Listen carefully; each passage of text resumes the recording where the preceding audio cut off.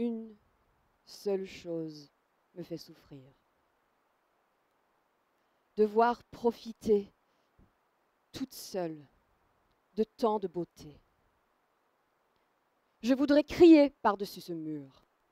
Je vous en prie, faites attention à cette journée splendide. Même si vous êtes occupé, même si vous traversez la cour à la hâte, absorbé par vos tâches urgentes, n'oubliez pas de lever la tête un instant et de jeter un œil aux immenses nuages argentés et au paisible océan bleu dans lequel ils nagent. Faites attention à cet air passionné, rempli la dernière respiration des fleurs de tilleul, à l'éclat et la splendeur de cette journée, car ce jour ne reviendra jamais, jamais. Il vous est donné comme une rose ouverte à vos pieds, qui attend que vous la preniez et la pressiez contre vos lèvres.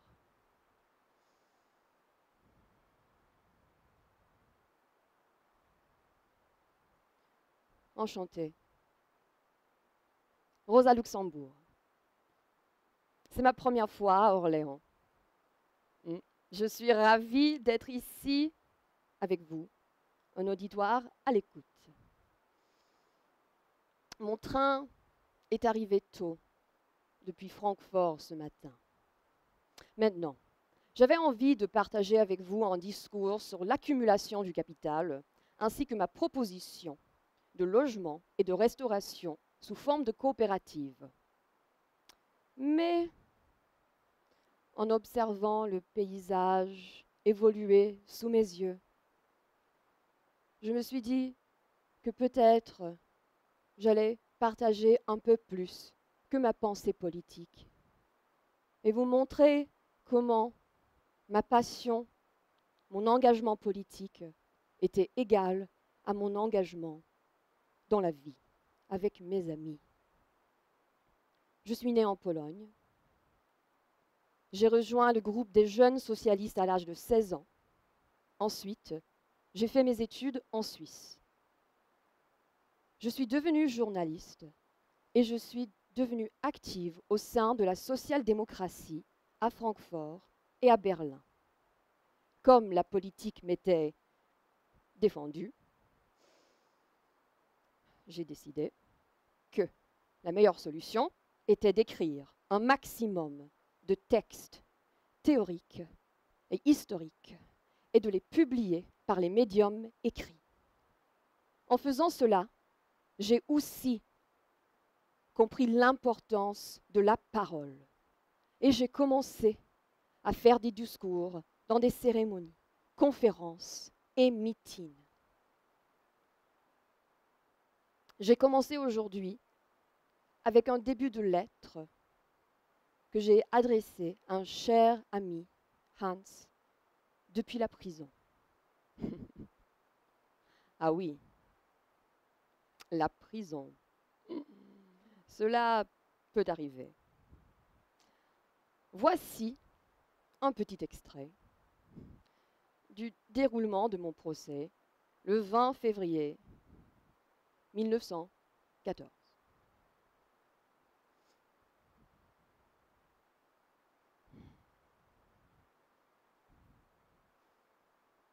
À plusieurs reprises, Monsieur le procureur a fait allusion à des appels à assassiner les supérieurs que j'aurais lancés aux soldats. Mais qu'ai-je dit en réalité? S'agissant de ce qu'on appelle l'incitation à l'assassinat des supérieurs, hum, quelque chose de hum, tout à fait différent. Dans mon discours, j'avais démontré que d'ordinaire, les défenseurs de l'actuel militarisme justifient leur position en évoquant la nécessité de la défense nationale. Si ce souci de la défense nationale était sincère et honnête, alors, c'est ce que j'ai expliqué, les classes dominantes n'auraient qu'à mettre en pratique la revendication déjà ancienne du programme social-démocrate, c'est-à-dire le programme de la milice. Car, disais-je, seul un peuple libre qui part en campagne contre l'ennemi par libre décision constitue un rempart suffisamment sûr pour la liberté et l'indépendance de la patrie. Nous pensons, au contraire, que ce ne sont pas seulement les ordres d'en haut, l'obéissance aveugle d'en bas qui décide du déclenchement et de l'issue des guerres, mais que c'est le peuple tout entier qui décide et doit en décider. Nous sommes d'avis qu'on ne peut faire la guerre que dès lors et aussi longtemps que la masse laborieuse ou bien accepte cette guerre pour une guerre juste et nécessaire, ou bien la tolère patiemment. Si au contraire, la grande majorité du peuple travailleur aboutit à la conclusion que les guerres sont un phénomène barbare, profondément immoral, réactionnaire et contraire aux intérêts du peuple, alors les guerres deviennent impossibles, quand bien même, dans un premier temps, les soldats continueraient à obéir aux ordres de leur chef. Selon la conception du procureur, c'est l'armée qui fait la guerre. Selon notre conception, c'est le peuple tout entier. C'est à lui de décider de la guerre ou de la paix, de l'existence ou de la suppression du militarisme actuel. C'est aux masses des hommes et des femmes, des jeunes et des vieux qui peut trancher, et non pas cette petite portion du peuple qui s'abrite, comme on dit, dans les basques du roi. Le Congrès de Londres, en 1896, déclare Seule la classe prolétarienne a sérieusement la volonté et le pouvoir de réaliser la paix dans le monde. Elle réclame 1. La suppression des armées permanentes et l'organisation de la nation armée. 2. L'institution de tribunaux d'arbitrage chargés de régler pacifiquement les conflits entre nations. 3. Que la décision de guerre ou de paix soit laissée directement au peuple dans le cas où les gouvernements n'accepteraient pas les sentences arbitrales. Vous le voyez, messieurs, l'agitation que nous menons contre le militarisme n'est pas aussi pauvre et aussi simpliste que se l'imagine le procureur. Nous avons tant de moyens d'action et si divers que nous pratiquons avec zèle et succès durable en dépit de tous les obstacles que l'on dresse dans notre chemin. Monsieur le procureur, nous, sociodémocrates, nous ne déchaînons jamais la haine. Ce que j'ai fait dans ce meeting de Francfort, ce que nous faisons toujours, nous, sociodémocrates, c'est informer, faire prendre conscience les masses laborieuses de leur intérêt, du développement historique, des tendances et bouleversements économiques, sociaux, politiques qui sont actuellement en train de se faire. C'est de ces points de vue que nous menons aussi notre agitation contre la guerre et le militarisme. Parce que chez nous, sociaux-démocrates, toutes nos pensées s'harmonisent en une conception du monde scientifiquement fondée et cohérente. Je vais conclure. Monsieur le procureur a dit, je l'ai noté, qu'il demandait mon arrestation immédiate, car il était inconcevable que la prévenue ne prit pas la fuite. C'est dire, en d'autres termes, monsieur le procureur, si j'avais à purger un an de prison, je prendrais la fuite. Ha Je veux bien vous croire, monsieur le procureur, vous, vous fuiriez. Un social-démocrate, lui, ne s'enfuit jamais. Il répond de ses actes et se rit de vos condamnations. Et maintenant, condamnez-moi. La démocratie, c'est l'action. On a dit de moi une marxiste si peu orthodoxe qu'on pouvait se douter que j'étais marxiste tout court. J'ai passé trois longues années en prison. À ma sortie, j'ai retrouvé mon associé Karl Liebknecht et nous avons rejoint la révolte spartakiste. Grève générale pour la radicalisation de la révolution. Entre le 5 et le 19 janvier 1919, communistes, socialistes, socialistes indépendants ont mené une insurrection qui a été écrasée par les militaires à Berlin. Karl Liebknecht et moi n'avons pas survécu.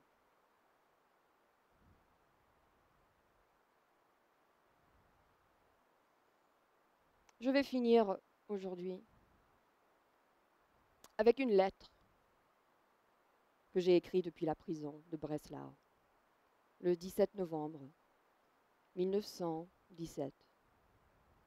J'écris cette lettre à ma chère amie Sonia Liebknecht. Comme je vous ai dit, pour moi, action politique, pensée politique, c'est aussi action, pensée dans la vie en général.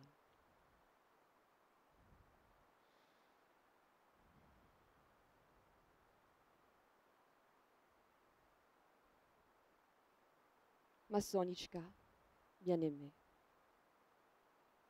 j'espère avoir bientôt l'occasion de vous envoyer enfin cette lettre. Et c'est avec fièvre que je prends la plume. Si longtemps, on m'a défendu de ce cher, de cette habitude de bavarder avec vous, au moins par écrit. Mais je ne pouvais pas.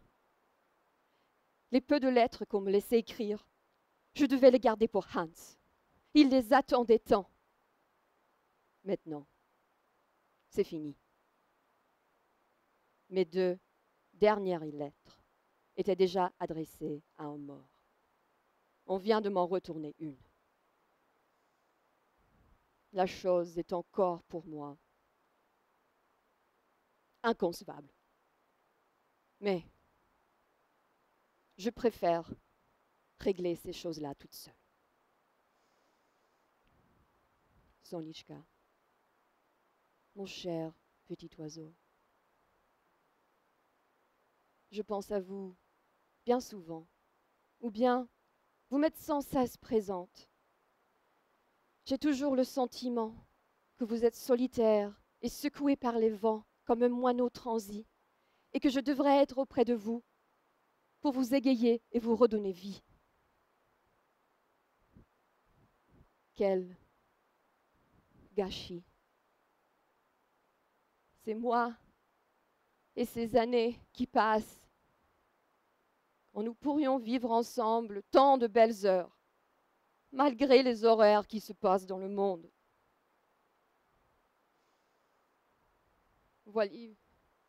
Voyez-vous, Sanyusha, plus cela dure, plus les ignominies et les atrocités qui se produisent dépassent toute limite et perdent toute mesure. Et plus, au fond de moi, je suis tranquille et ferme face aux éléments. Un ouragan, un déluge, un éclipse de soleil. On ne peut pas appliquer des critères moraux. Il faut les regarder comme une donnée, comme un objet de recherche et de connaissance. enragée et tempêtée contre l'humanité tout entière n'a finalement pas de sens.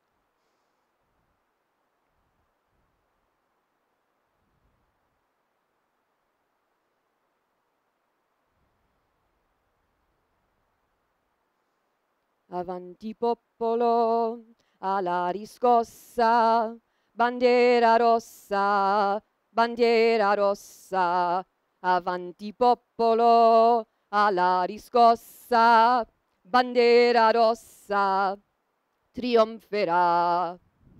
Bandiera rossa la trionferà, bandiera rossa la trionferà, bandiera rossa la trionferà. E vivo il comunismo e la libertà.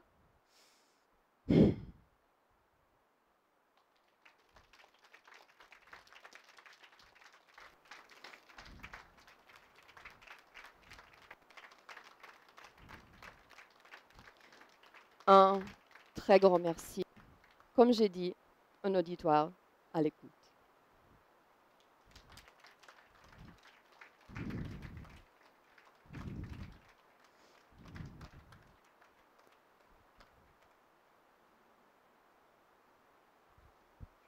Vous venez d'entendre Alexandra Béraldine, qui a une pratique de plusieurs années dans le domaine du théâtre.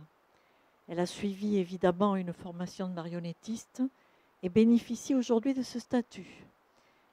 Elle euh, intervient dans une école de commerce où elle enseigne, ça ne vous surprendra pas, la prise de parole et la rhétorique. Sa revue prend comme source des sujets historiques et les revisite grâce à sa marionnette pour mettre en lumière des questions d'actualité. Merci beaucoup, Alexandra.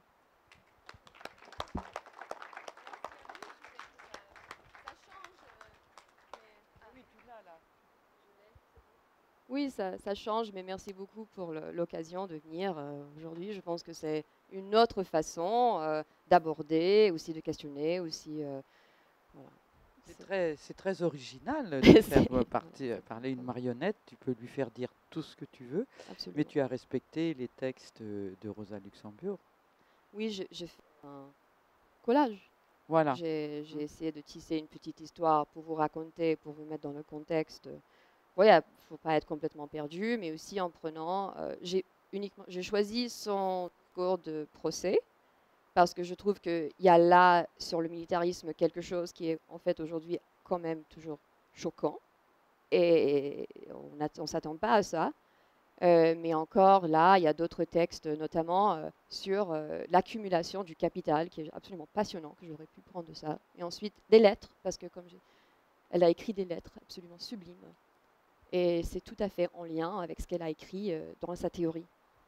Est-ce que pour des, personnes comme moi, par exemple, qui ne connaîtraient pas bien, bien Rosa Luxembourg, est-ce qu'en quelques, quelques mots, tu pourrais nous retracer euh, Mais là, tu n'as pas de papier, rien du tout. Enfin, au moins, nous raconter. Euh, on a encore le temps ben, Je veux dire, si vous êtes encore un petit peu. Je peux le faire en hein cinq minutes Oui, ben, au contraire.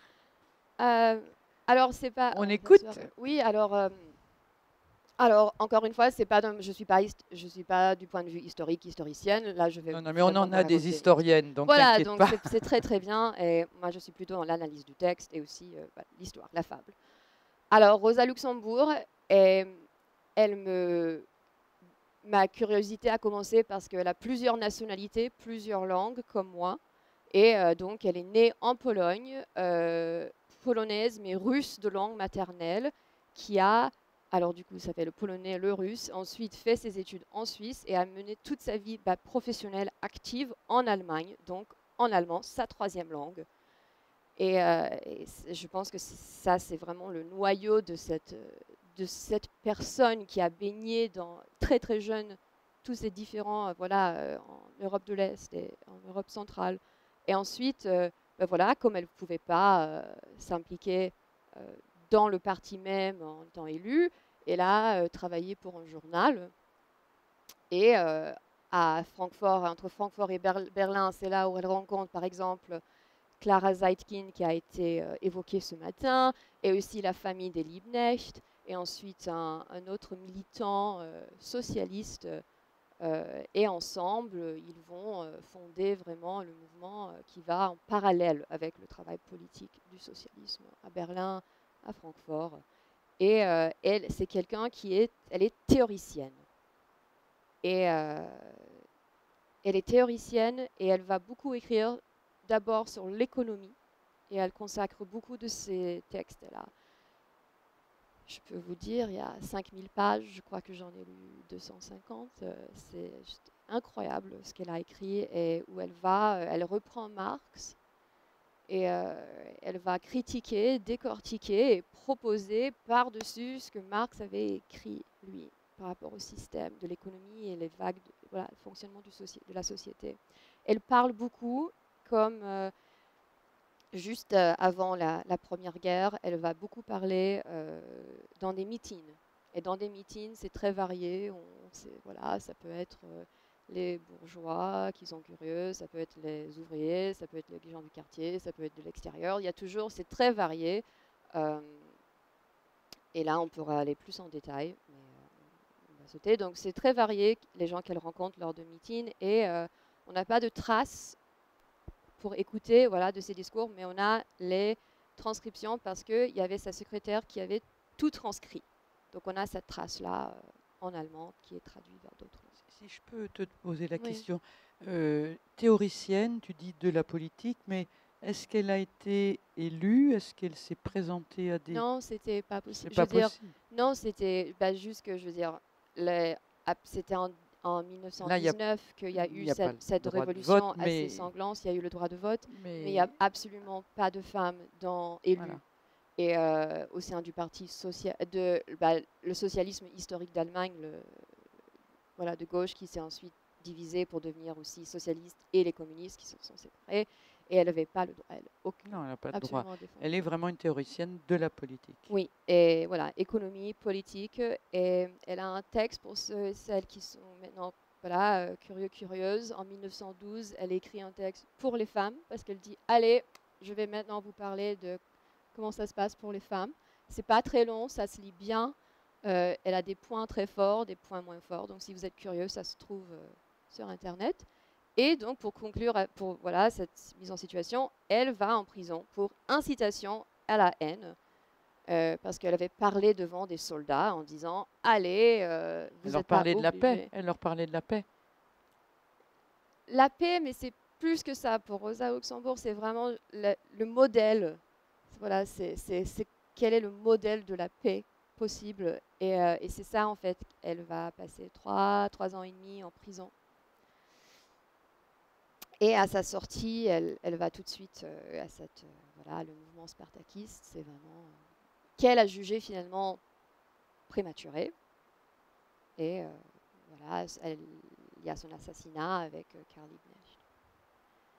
Et voilà, c'est ça, c'est le, le parcours. euh, Éphémère, elle, elle- elle est assassinée. euh, elle est dans la quarantaine? Oui, c'est ça. Oui. Quarantaine d'années, c'est un peu jeune. hein. Oui, C'est toujours trop jeune. hein. oui.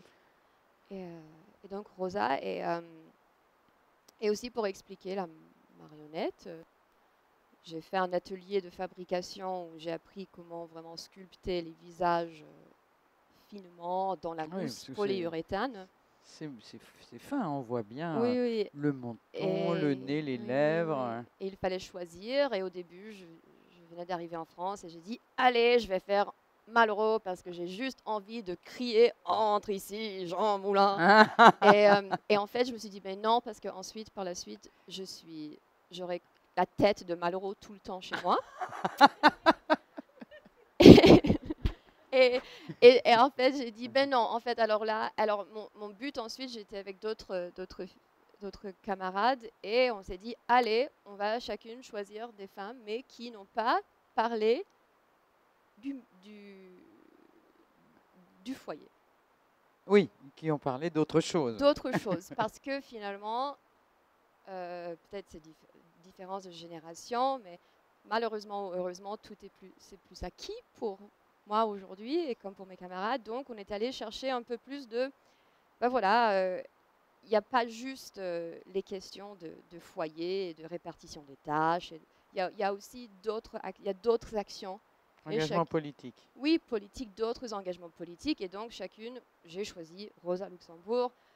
Il y avait, une amie qui a choisi Aung San Suu Kyi, qui est aussi, surtout en ce moment, en ce vraiment, moment, très euh, contesté. mais, mais bah en fait, mais, pour- mais, mais c'était magnifique. Elle a fait un travail autour de, ce- de cette femme euh, vraiment euh, complexe et nuancé, et le bien et le mal. Et, euh, et aussi, euh, il y avait. il y avait beaucoup. il y a- euh, non, oh, Ça ça, va- ça oh, va c'est- te c'était revenir, cela, non, oui. là, là, euh, Quelle nationalité? elle est française, elle est très euh, Euh, Ségolène Royal. non. non, je pense que ça, ça marche. Alors, j'ai envie de dire Dol- Dolores Ibaruri, mais c'est- Ah bah oui, elle est parce qu'on vient d'entendre. Donc voilà, donc on a fait vraiment un travail autour de la, la Simone politique. Veil. Non, Non, non, non, non, parce que Simone. Une jeune une euh. Mi- Louise Michel. ah, voilà. désolée. Et donc, On en a parlé ici même aussi de vous, Louise Michel. vous voyez que j'ai une préférence, voilà, plus pour Rosa Luxembourg. Oui, oui, mais bon, pour Euh, nous, elle est moins connue en France. hein. Elle est moins connue. moins connue, moins connue. Rosa Luxembourg était une phrase dans mon livre d'histoire au lycée. Une phrase. Et j'ai des amis qui travaillent pour euh, le Parlement européen, qui ont fait Sciences Po. Et ils ont dit Ah non, mais c'est pas Karl, Karl Liebknecht qui a fait ça, et c'est lui, hein. Et qui Rosa C'est qui Rosa Luxembourg Voilà. Voilà, j'ai fait Eh une ben, marionnette. bravo. Ben voilà, ça c'est c'est vraiment le thème de Voilà. notre colloque, Femmes des Lumières et de l'Ombre. Ton choix, je, je viens.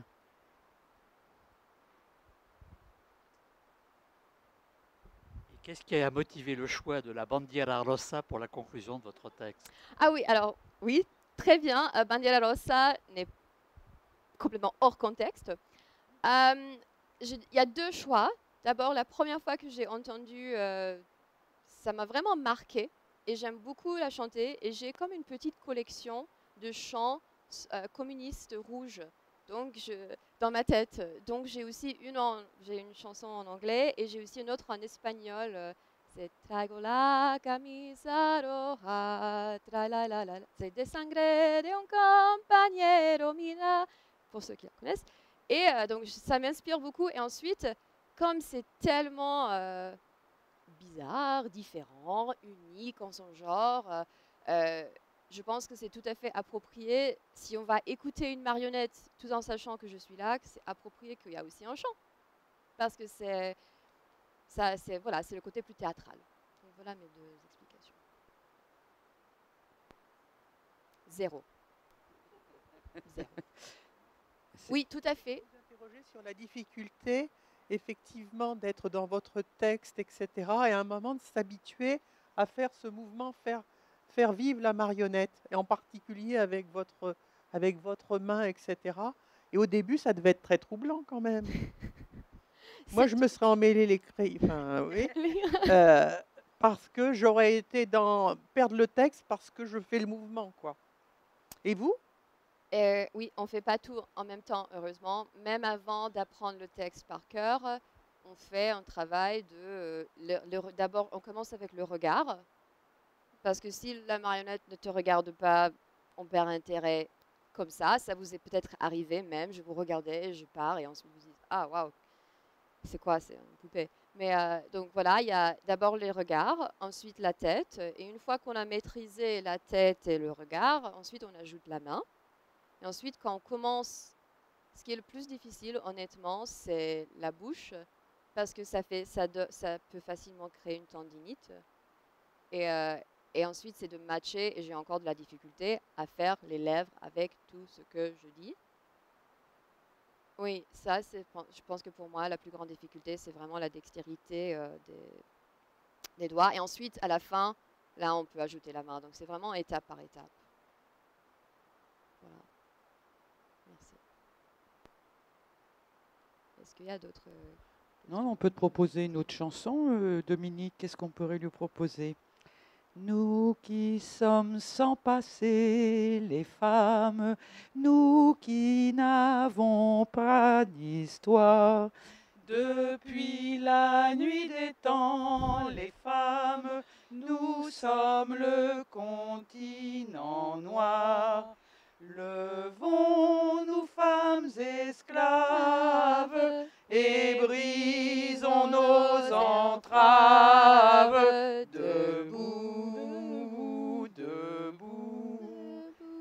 Voilà. Super, merci. Merci. à Dominique. cet hymne des femmes, c'était d'abord le chant des marais, qui a été le chant euh, des prisonniers déportés, qui a été créé en 1933 euh, par des prisonniers politiques allemands. Et c'est le chant qui a été repris, qu'on a chanté encore euh, au mois de juin au colloque Germaine Tillion, euh, Anne-Marie en est témoin, etc. Avant que ça devienne le chant des femmes, alors avec d'autres paroles évidemment, hein, mais voilà.